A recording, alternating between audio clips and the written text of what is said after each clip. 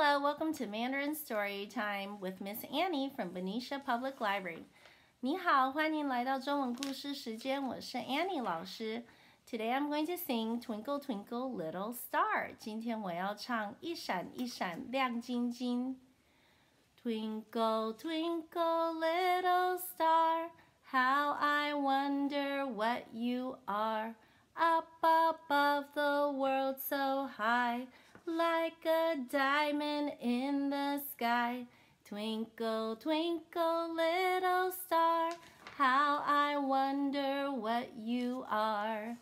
All right, now in Mandarin，好像用中文。